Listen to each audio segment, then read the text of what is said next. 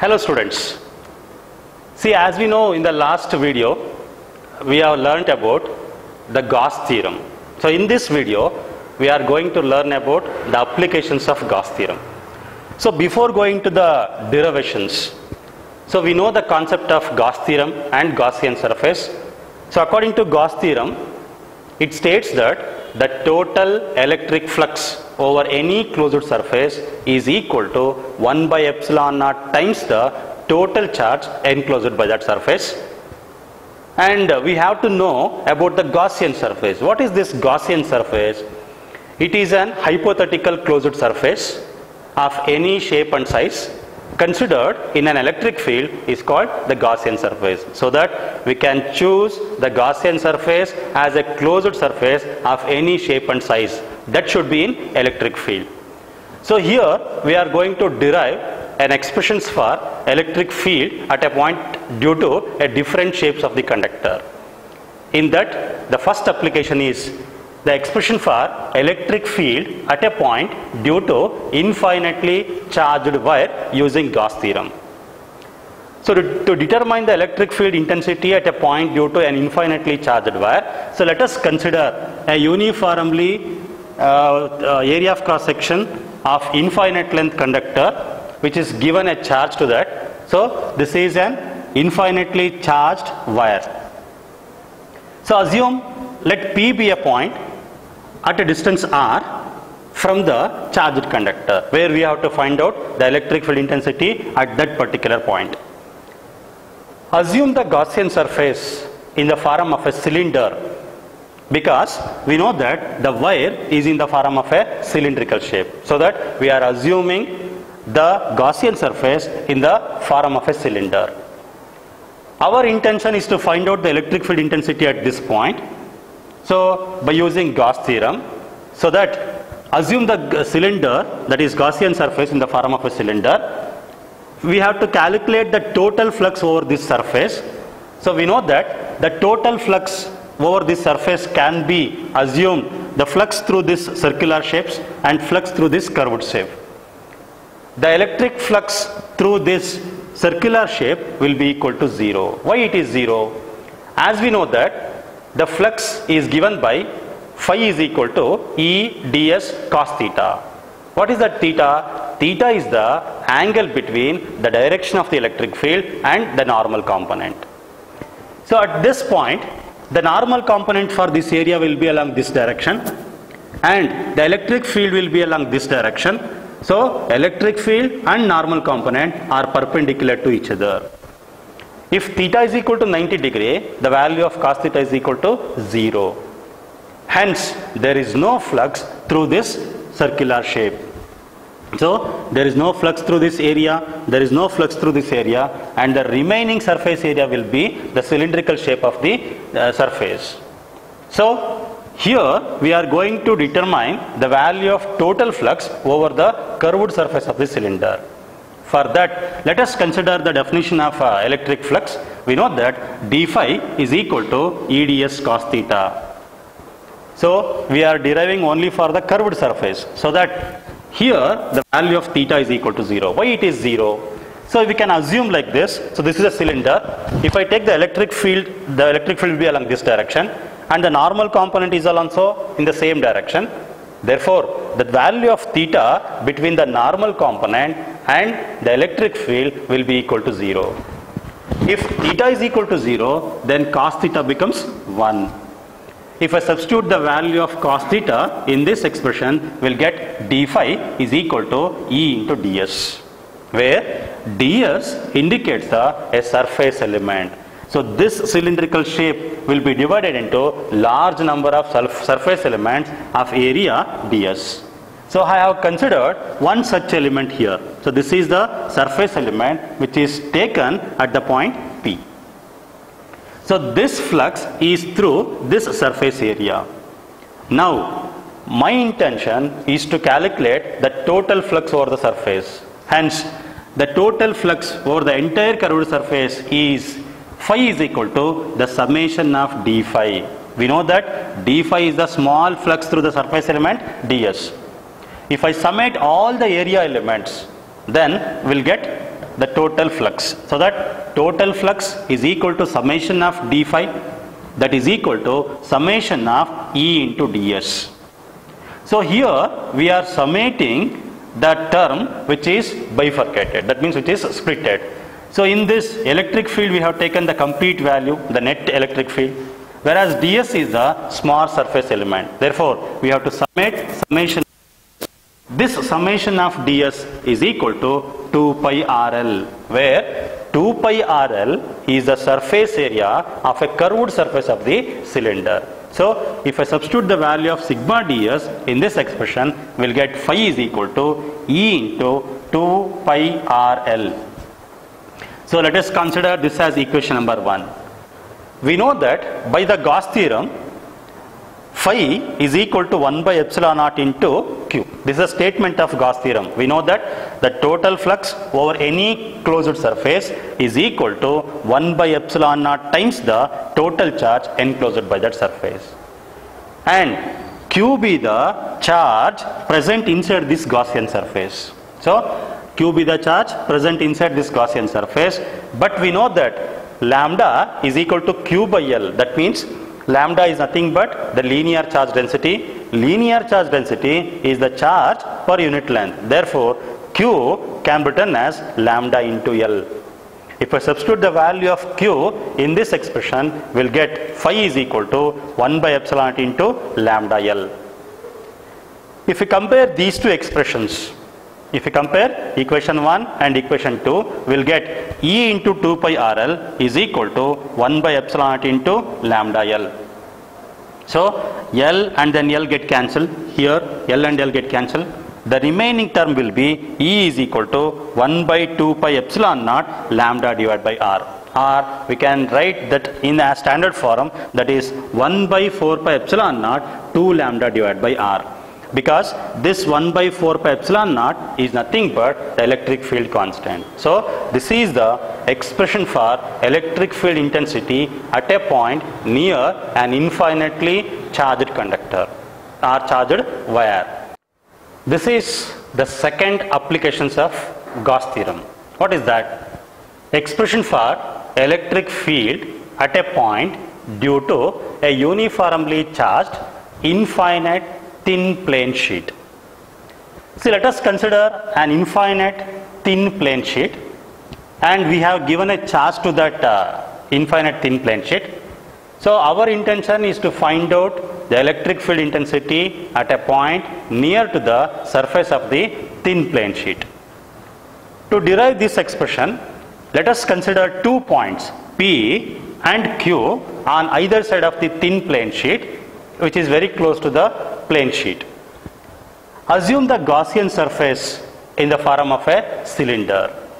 In the last derivation, we know that the flux through the flat surface, that is curved surface, will be maximum. Through the flat surface will be equal to 0. But here, we have assumed the Gaussian surface in the form of a cylinder such that the area of cross section will passes through these two points P and Q. Now we have to define the total flux over this entire surface that is entire Gaussian surface. So we know that the total flux or the net flux through the entire Gaussian surface must be equal to the flux through the surface area ds at the point P. That means this is the small surface element of the area ds. So we are finding the electric flux through this surface plus flux through ds at q. That means this is the area of cross section. The flux through this area of cross section will be that one. And the third one flux through the curved surface. That means what you have taken this curved surface, we have to find out the total flux over that.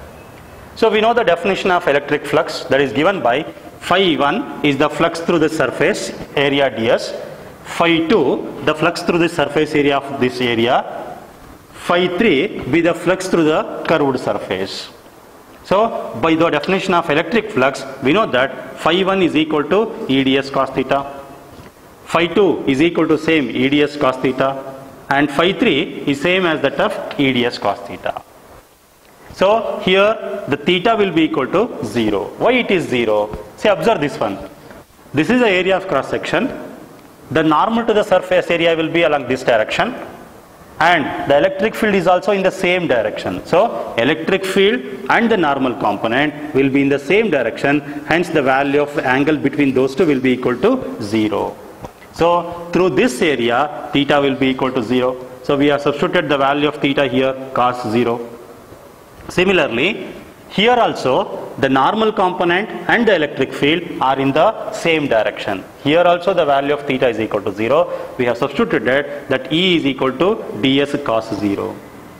And then third one that is EDS through the curved surface. See observe this one. Electric field will be along this direction. If I take the infinite thin plane sheet, electric field will be on either side of the thin plane sheet along this direction and then this direction. But the curved surface, if I take a curved surface, electric field will be along this direction, but normal to the surface will be always along this direction. Hence, the electric field and the normal are perpendicular to each other, hence theta is equal to 90 degree. And we know that cos 0 is 1, therefore that becomes EDS. Here also cos 0 is equal to 1, that becomes EDS. But here cos 90 is equal to 0. So 0 into anything is 0. This term will cancel. The remaining will be phi is equal to EDS plus EDS that becomes 2EDS. So this is the total electric flux over the entire Gaussian surface. So we know that the curved surface will not have any flux only the area of cross sections will have the flux that is given by 2 into E into ds. Next, by the Gauss theorem, we know that the Gauss theorem, by the Gauss theorem, the total flux over any closed surface is equal to 1 by epsilon naught times the total charge enclosed by that surface. That is, phi is equal to 1 by epsilon naught into q, where q be the charge present in this area of cross section. So we know the surface charge density definition that is surface charge density is the charge per unit surface area. Therefore, sigma is equal to q by ds. If I cross multiply this one here we'll get q is equal to sigma into ds. If I substitute the value of q is equal to sigma ds in this we'll get phi is equal to sigma ds divided by epsilon naught. So consider this as equation number 2 if we compare these two expressions, if we compare the equations 1 and 2, we'll get E 2E ds is equal to sigma ds divided by epsilon naught. Here ds and ds get cancels. If we cross multiply these two to the right hand side, we'll get E is equal to sigma divided by 2 into epsilon naught. So this is the general expression for electric field intensity at a point near to the infinite thin plane sheet. So this is the third application of Gauss theorem that is expression for electric field intensity at a point due to a charged spherical conductor. So in this we are going to derive an expression for electric field at a point due to a charged spherical conductor. So to derive that one, let us consider a spherical charged conductor of radius r. We have given a charge plus q. Assume the Gaussian surface in the form of a sphere. Let P be a point at a distance small r from the center of the spherical conductor where we are going to derive an expression for the electric field intensity at this point. See, let us divide this Gaussian surface into large number of surface element.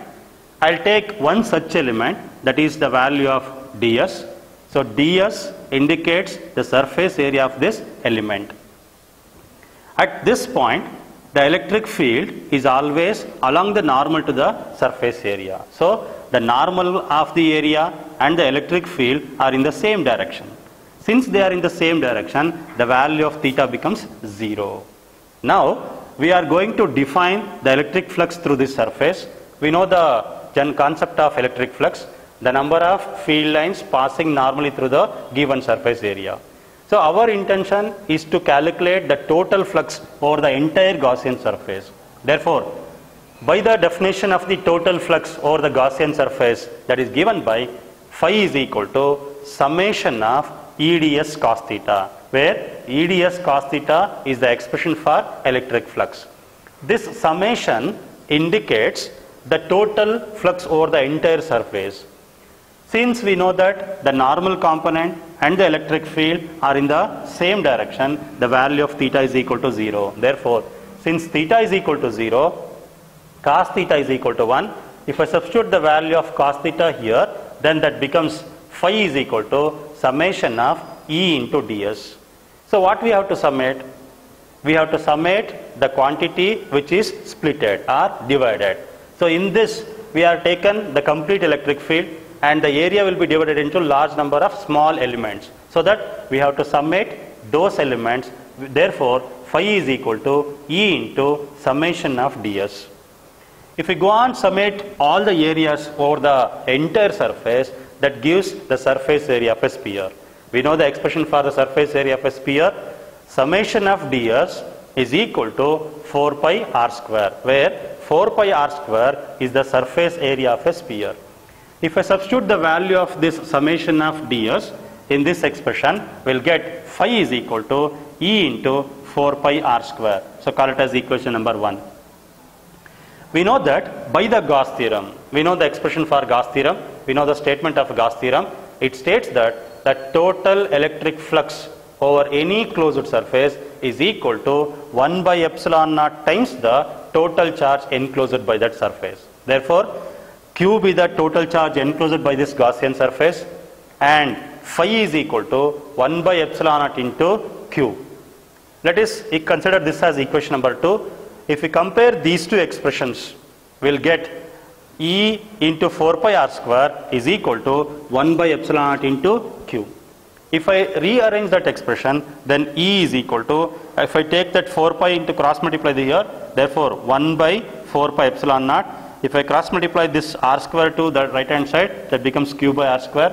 Hence, the expression for electric field intensity at a point due to a charged spherical conductor is given by E is equal to 1 by 4 pi epsilon naught q by r square.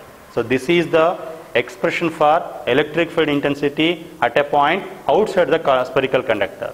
Second point, if we consider the point P on the surface of the conductor, so that if the point P is on the surface of the conductor, then the distance of the point is equal to the radius of the spherical conductor. That means that small r indicates the distance of the point from the center of the spherical conductor.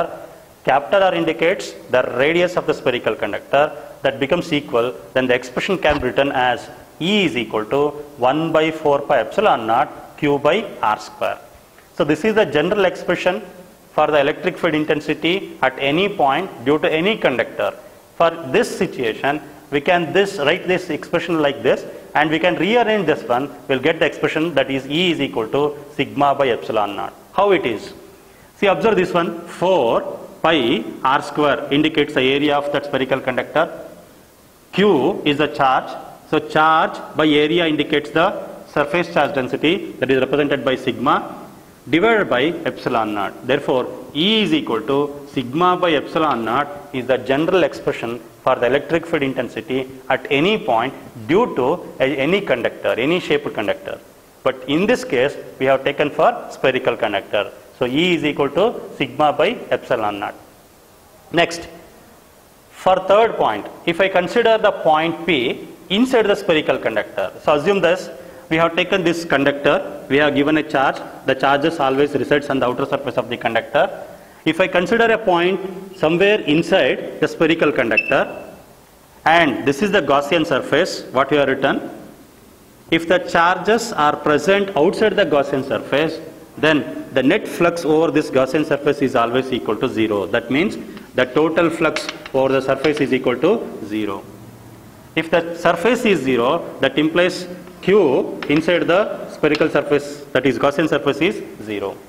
If Q is equal to 0, then the expression for the electric field becomes 0. Hence, the electric field inside the spherical conductor is always equal to 0 because there is no flux, there is no charge inside the Gaussian surface. Hence, the flux over the surface is always equal to 0. Hence, the electric field is also 0 inside the spherical conductor.